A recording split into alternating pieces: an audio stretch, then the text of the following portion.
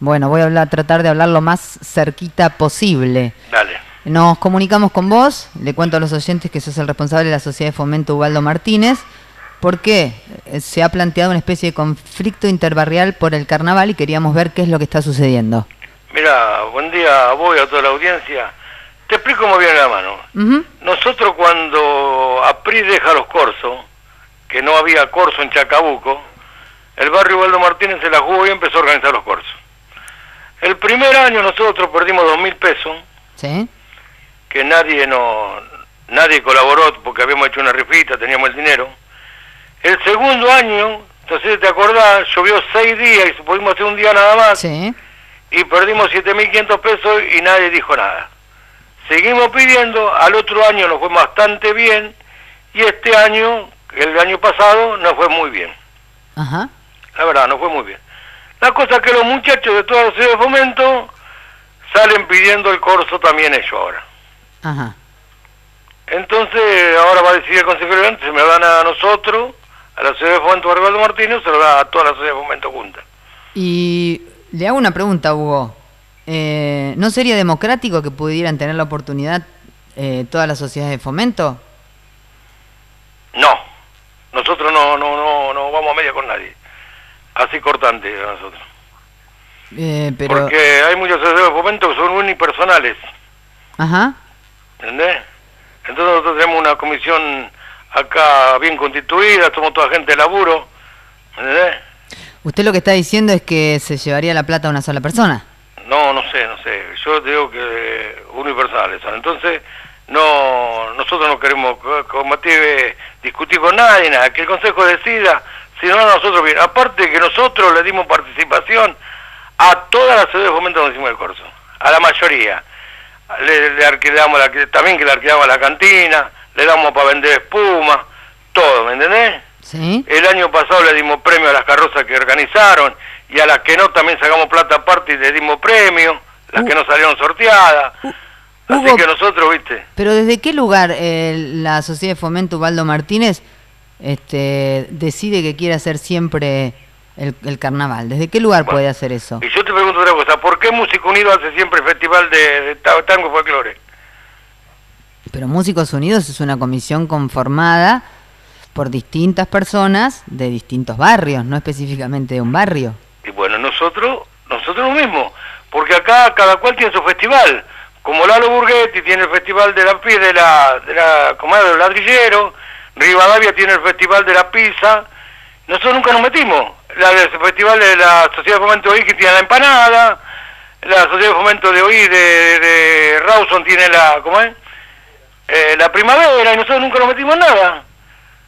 Y esa es una cosa que era como que nos habían dado nosotros y nosotros Mira, ese es el problema nada más. Y Hugo, ¿con quién te vas a juntar en un ratito? Con los, con los concejales de obras públicas. Ajá, para ver cómo se puede resolver esto. Sí, no, pero no hay vuelta atrás, ¿eh? Nosotros no, no, no hacemos ningún arreglo. de- O nos dan o no, ¿O se la dan toda o nada? o nada. Así te aclaro de que se lo dije a todas las sedes de fomento, como te lo digo a vos, se lo dije a todo igual, o vamos solo o no vamos con nadie. ¿Qué están defendiendo, Hugo? ¿Eh? ¿Qué están defendiendo?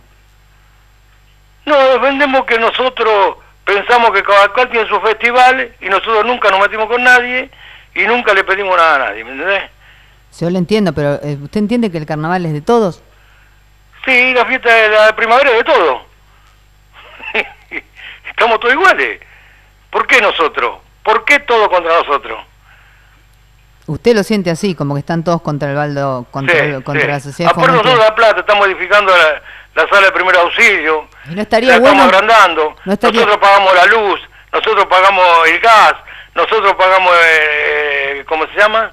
La, la alarma, nosotros pagamos los artículos de limpieza, Y no- ¿entendés? eh. Tenemos 40 chicos acá, nosotros no podemos alquilar el salón para hacer fiesta como hacen algunos, porque nosotros ten- tenemos una guardería ahí adentro, de 40 chicos. Y, y no ¿Me estaría... entendés con la mano? Sí, le entiendo, le Y entiendo. A nosotros ver, tenemos que tener fondo para eso. yo eh, le estoy dando lugar para que le cuente a los oyentes de qué se trata y por qué, por qué, por qué quieren tener el carnaval. Lo que yo me pregunto es si no estaría bueno que también otras sociedades de fomentos tengan la posibilidad de hacer eso con su barrio. Mira, el año pasado me quisieron coso y salieron haciendo por otras calles unos, carnavalitos. Ajá. Entonces, están jugando su, ¿me entienden? Pues, y, y bueno, nosotros, qué, sé yo, mira, no sé, no, mira, yo te digo, nosotros estamos en esta posición y, ¿viste cuando vos tenés una posición? Sí. Aparte hicimos una asamblea extraordinaria entre todos los vecinos para que ellos supieran cómo venía la mano y la, idea que teníamos. Los vecinos no apoyan y bueno, estamos todos en la misma. Bueno, Hugo, este, nada, qué sé yo, suerte eh, hoy en el en el Consejo Deliberante, vamos a ver qué se decide. Y bueno, si perdemos, perdemos. Y bueno. Saldremos a hacer con otra cosa. Bien, le mandamos un abrazo y muchísimas gracias por atendernos. chao, hasta luego. Hasta luego. Pasó Hugo Duvalde, responsable de la Sociedad de Fomento Valdo Martínez, con un planteo un tanto raro, ¿no? Y desde el lugar desde donde lo planteaba, bastante difícil de combatir también. Porque si te plantea o lo queremos todo o no queremos nada, este, te deja sin argumentos, ¿no? Y si le planteas esto de que bueno sería que todos los barrios tengan la oportunidad de... Hace una mezcla bastante importante entre lo que es un carnaval y lo que es la fiesta de la primavera o la fiesta de la empanada. Em, hace una mezcla importante y en el fondo me está diciendo tenemos una guardería de 40 chicos. Eh, creo que se mezclan las necesidades y cuando se mezclan las necesidades, quien, si no hay alguien que organice las necesidades, y hay un evento que puede paliar esas necesidades y hay, mucha gente que se va a agarrar con desesperación. Así que me parece que tienen que mediar los concejales con criterio y con tranquilidad a ver cómo se puede resolver. Y no quise seguir hablando porque tenía miedo que Hugo se enoje. 58 minutos pasan de las 9 de la mañana, escuchamos buena música. Sin máscaras. Una perspectiva diferente.